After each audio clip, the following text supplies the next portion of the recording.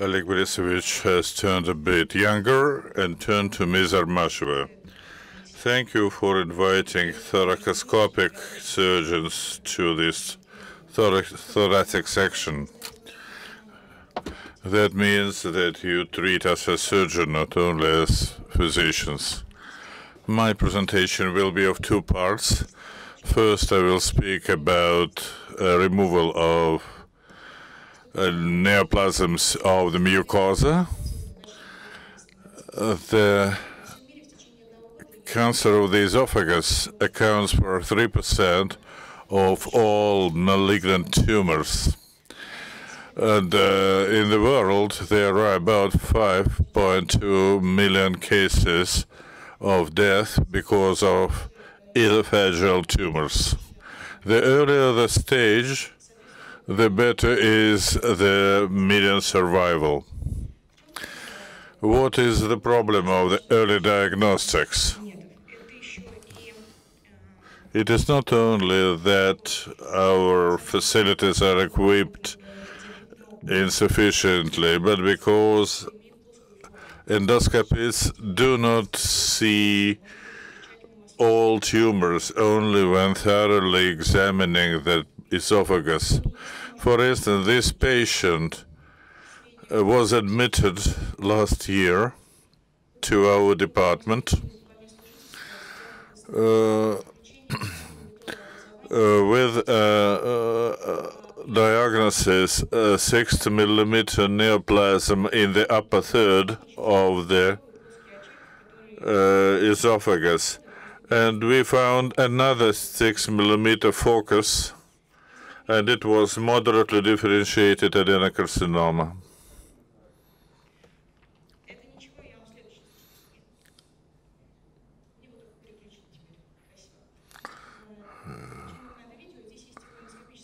Uh, we see, uh, we don't have to see the video. I see an endoscopic image.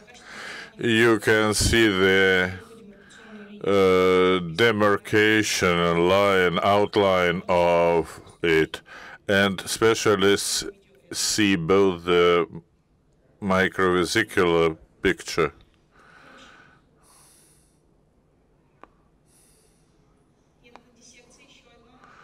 This is dissection, another one. This, uh, our la latest patient. Uh, she was treated for reflux esophagitis in the local outpatient clinic. Only a year later, the endoscopist took a sample and found adenocarcinoma.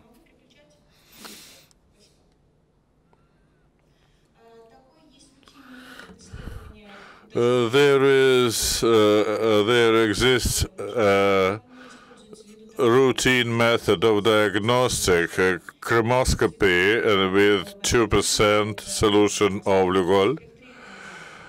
And we also, we use uh, NBI examination in the narrow range of light. The classification of microvascular image we can differentiate whether it is an inflammation or a malignant lesion. But analyzing the condition of the capillaries, we can understand what the depth of invasion will be. Why we should understand that pre prior to operation. International recommendations say that high-grade dysplasias, T1A cancers, can be endoscopically removed if they do not trans, uh, transgress the mucosa. However, the submucosal cancer uh, may invade the submucosa by two 100 micrometers. There are also other factors uh, like microvascular invasion. And when we find an epithelial neoplasm, uh, if we identify it as the malignant one, we uh, perform a CT scan, and if uh, it uh, invades uh, through the walls of the esophagus, we do endoscopic ultrasound. Uh, if we find something, we send patient for uh, chemotherapy or uh, surgery. This is a cap resection because this type of resection uh, makes it possible for us to remove small tumors en bloc. If the tumor is bigger, we uh, remove it piecemeal.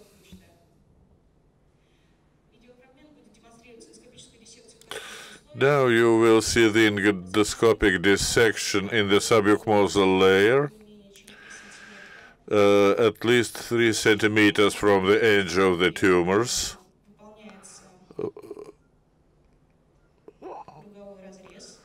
A circular incision.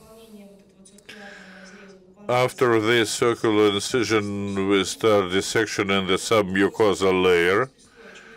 Uh, the blue here is the submucosal layer. The tumor is dissected, removed for histological review. Uh, then the esophagus is carefully examined for perforation or bleeding.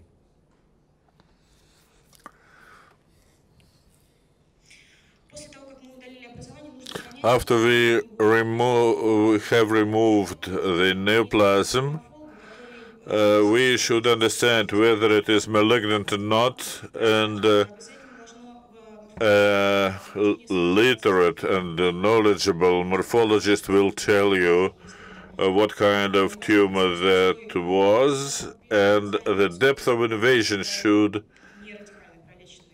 mandatorily be noted because here you see the moderately differentiated squamous cancer. This is what uh, the tumor looks like in the basal uh, mucosal membrane. Uh, we have made quite a number of tumors, 22 to uh, the full number was 29. Practically no perforations and no complications. There was one late bleeding. And we had also three esophagus strictures, two after the circular dissection of the mucosal membrane, and one uh, after uh, semicircular uh, dissection uh, uh, because this is as regards epithelial neoplasm. Uh, submucosal tumors. We perform submucosal uh, tunneling mucotic resections.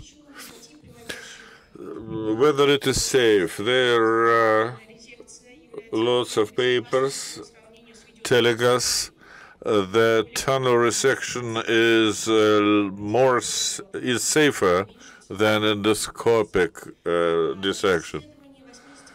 Uh, there is a trial uh, on 80 patients uh, for tunneling resection of uh, submucosal tumors.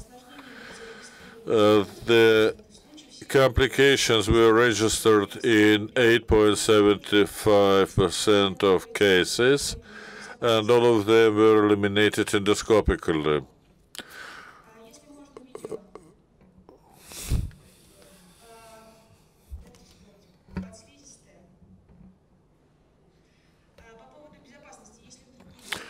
Speaking about safety. If the video does not run, we have performed submucosal dissection.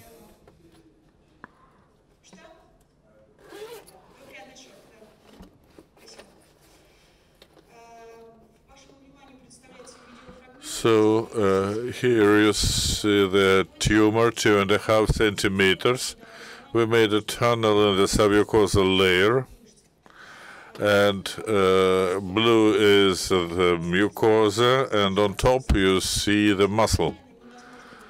Uh, it is impossible to remove that without damage to the mucosa.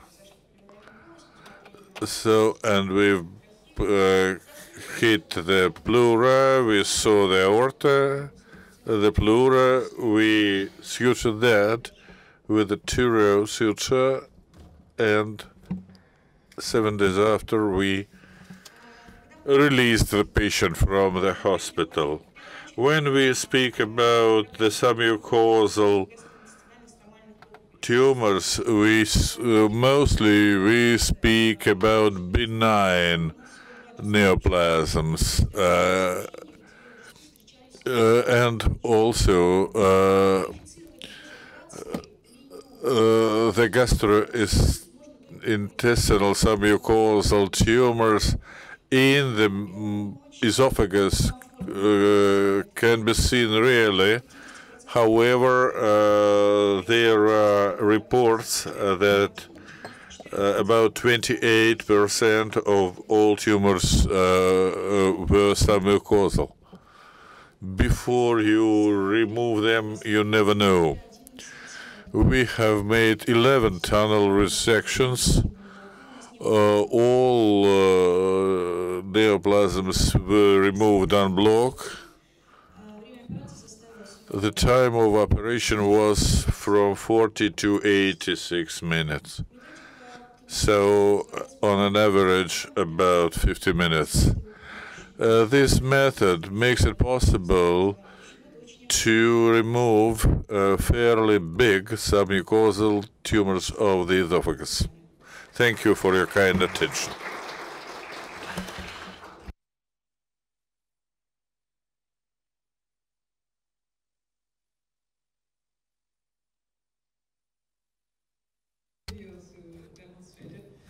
last one, I was a little bit afraid with this clip on this uh, hole in the esophagus What, what did you did? Did you prove this by an, an uh, enema? So do you get them uh, contrast uh, uh, uh, fluid to drink so that you are sure that this is close? Because the, the kind of complication you you have at the 10th or 12th day, but you said you let them home at the eighth day. So what happens after release of the patient?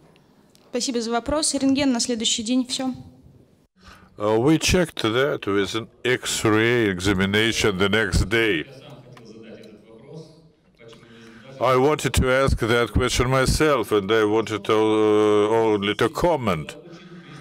Uh, Marina Vladimirovna said that everything was very good, but we were very closely monitoring that uh, patient for the whole week. We did uh, X-ray, then another X-ray, then CT scan, so it was not that easy. And for submucosal resection, what are the indications? What are the sizes which you can offer the patient? According to the international guidelines, uh, we have no guidelines as to the size of the tumor. But uh, they say only that uh, if the tumors bigger than two centimeters, we observe those, and if it is under two uh, five centimeters, then we remove them. But what to do with three and four centimeter tumors? We can dissect it, but it may remain in the patient if it is a big tumor which cannot be pulled out.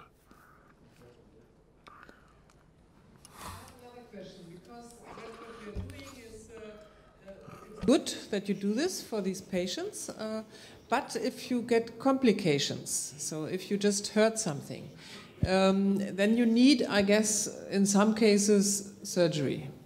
Of course. And uh, this kind of surgery in emergency case means that you uh, have to have space in the surgical department because they have also their program to, to get up. So, is that in any case, uh, have you have you good communication to the surgeon that you say about tomorrow? Perhaps we have a very difficult case, but we do it, and uh, but in case, uh, be uh, uh, prepared. Or you just do it by your own. In Germany, they all do this by their own, and, uh, and then they come with a problem, and then we have to stop everything. So I don't know. Безусловно, нам повезло. Мы работаем в Институте онкологии.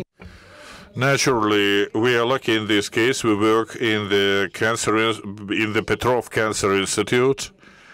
Uh, all patients uh, uh, go through the surgery department of Mr. Levchenko, so uh, he uh, stands as our backup there. And after these operations, metastatic spread is in 15% cases. After histological verification, we usually subject such patients to surgery. Speaking about melanoma, we had primary melanoma in the esophagus. At that time, we didn't understand what it was. The patient came from I don't remember where, and uh, he had a diagnosis an epithelial neoplasm of the esophagus. No one performed biopsy because uh, there was uh, uh, danger of bleeding, and we decided to dissect it. And during this section, we saw that it was melanoma, and Evgeny Vladimirovich uh, performed an operation, and it was quite successful. But it was the only case. We don't have any statistic, and we do not have any long-term results so far. He is alive. What do you see as complications? This case, for instance, was a complication. No, it wasn't. It is either bleeding or perforation. Uh, no perforations. Mm, we had bleeding, but uh, not very, nothing very special, just standard bleeding during dissection.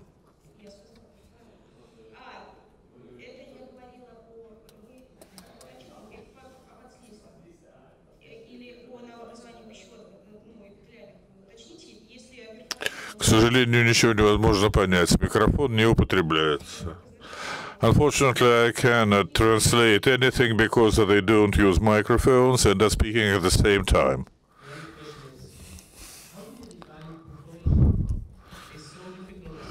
These patients, if you do CT scans, most of them have mediastinal layer.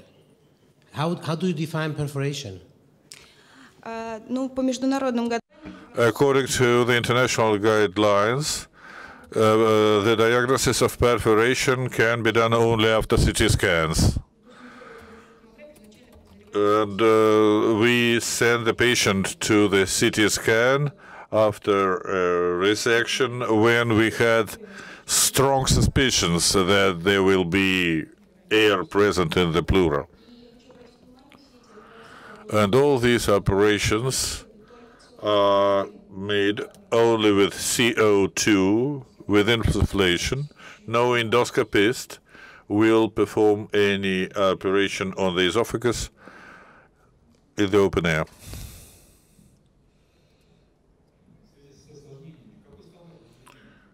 Uh, for complications, what do you do about these patients? Do you immediately mm, take an X-ray of them? Is there any standard?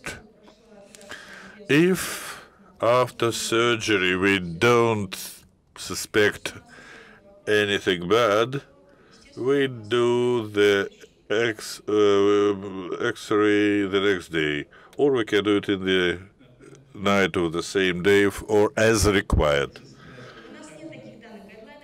We don't have this information. There are no guidelines on submucosal tumors. It is never said anywhere uh, that they should uh, be sub, subjected to CT scan. We only monitor them, nothing else. Thank you.